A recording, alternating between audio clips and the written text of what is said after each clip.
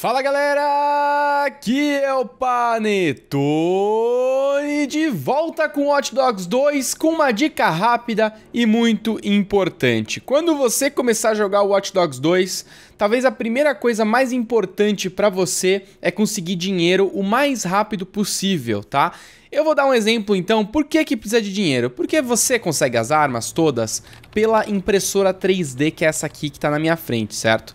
E com essa impressora 3D, você começa a comprar armas no jogo, e elas são caras. Por exemplo, essa aqui, ó, que é um lançador de granada, que é muito importante no jogo, custa aí mais de 100 mil dólares. Eu tô ali com 85 mil porque eu já comprei algumas armas e é realmente difícil você conseguir já começar o jogo com boas armas. Então, o importante eu acho, logo no início, você fazer algumas coisas para melhorar o quanto de dinheiro você ganha, não só pro início, mas também ao longo do jogo, tá bom? Então eu vou voltar aqui rapidinho, vou abrir o meu aplicativo aqui do celular aqui do canto, que é o Ubisoft Club. O Ubisoft Club, ele é aquele site da Ubisoft, né, que faz com que você acumule pontos realizando certas ações no jogo, e não só no Watch Dogs 2, mas em vários jogos da Ubisoft, né? Então eu vou abrir aqui ele em cima do jogo mesmo, tá? Eu tô no PlayStation 4, isso vale para PC e vale também para Xbox One. Quando você joga vários jogos da Ubisoft e vai ganhando pontos, esses pontos podem ser usados em qualquer jogo da Ubisoft que tem ali o suporte do Uplay. Hoje em dia todos todos têm, eu acho que desde o Assassin's Creed Unity, Syndicate já tinha. Então, isso aqui é muito importante, tá? Aí quando você entrar aqui no jogo, no hub do jogo, você vai procurar pelas recompensas, ó. Tem oito recompensas. Você clica nessas recompensas e você vai ver aqui, ó, recompensas que você pode comprar com pontos do Uplay. Vocês podem ver no canto superior direito da minha tela que eu tenho ali 965 pontos U, que é ponto de Uplay, tá? É, com esses pontos é o que você vai gastar aqui no Uplay. Eu já gastei, mas eu vou mostrar para vocês o que, que você pode aqui é, comprar logo de início. Chama-se investimento inicial. É isso aqui, ó. Com 15 mil dólares de verba, você terá como abrir a sua própria empresa de tecnologia ou comprar armas e roupas, escolha sua. Com essa recompensa, você automaticamente recebe já 15 mil dólares dentro do jogo.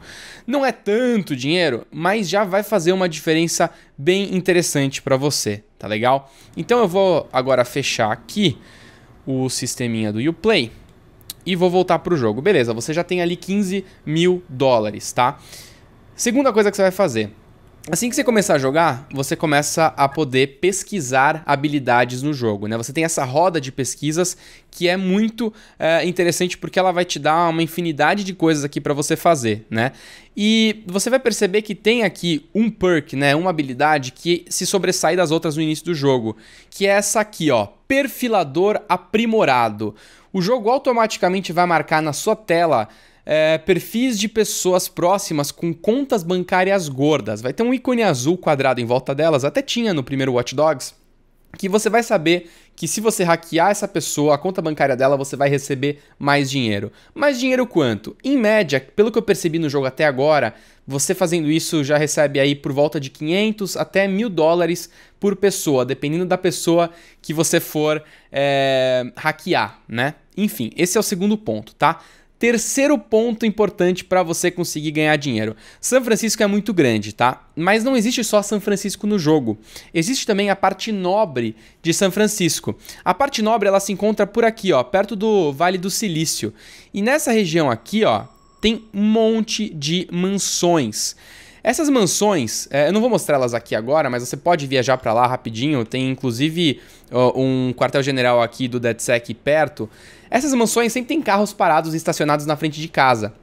Uma coisa que você sempre pode fazer é entrar dentro desses carros, arrombando ou já hackeando quando você já tiver a habilidade para fazer isso. Só entra no carro que você automaticamente vai roubar algum item valioso que tem dentro daquele carro. E esse item valioso pode ser vendido nessas lojas aqui, ó, loja de penhores. Nessa loja você não só vende é, esses itens que você encontra, por exemplo, no carro ou roubando outras pessoas, mas também você compra munição para as armas, tá? Então é uma forma já no início de você ficar aqui farmando, andando pelas mansões e só roubando os carros e roubando os itens que tem dentro dos carros, tá? Quarto e último ponto interessante para você já começar ganhando dinheiro. Você vai é, andando pela cidade você vai começar a perceber que tem esses ícones de cifrão, que geralmente são sacos de dinheiro espalhados pela cidade. Alguns sacos de dinheiro eles ficam protegidos por alguma gangue ou até a polícia. Talvez no início seja um pouco complicado você conseguir pegar todos esses sacos de dinheiro, tá? Mas nem todos têm tanta, é, tanto reforço ali de policiamento, tá? Ou das gangues. Tem alguns até que ficam sozinhos no mapa. Então, sempre que você estiver andando de carro, presta atenção quando você vira esse ícone aqui, vai lá e pega o dinheiro, porque aqui pegando esses sacos de dinheiro, em média, eu já percebi que eu pego aí 15 mil dólares, até mais, 18 mil dólares em média por saco de dinheiro, tá? Então, se você logo no início do jogo fizer esses quatro passos que eu falei, é, você já vai ter dinheiro suficiente para comprar o primeiro item muito importante no jogo, que é o drone. É, eu considero o item mais importante por causa das missões o quadricóptero que eles falam aqui, né? Ele custa acho que quase 70 mil dólares. Então, fazendo esse início rápido, você consegue comprar o quadricóptero e logo depois consegue comprar a sua primeira arma. Eu sempre prefiro jogar com um rifle, com um sniper, mas você pode aí comprar lançador de granada, você pode comprar um rifle comum, mas aí aí começa realmente a não importar e sim importar o que você prefere no jogo, tá bom? Essas foram quatro dicas que eu considerei interessantes no início da minha gameplay. Comenta aqui embaixo se você achou outras coisas legais, tá? Eu vou ficar é, muito feliz em saber, posso até gravar outro vídeo com as dicas de vocês. E se você gostou desse vídeo, achou esse vídeo interessante e importante para você, deixa aquele joinha gostoso, compartilha esse vídeo com seus amigos e não esquece sempre de seguir o canal do Panetone caso você ainda não seja inscrito. Lembra também daquele sininho ali em cima para você ficar recebendo as notificações de quando os meus vídeos saírem, beleza?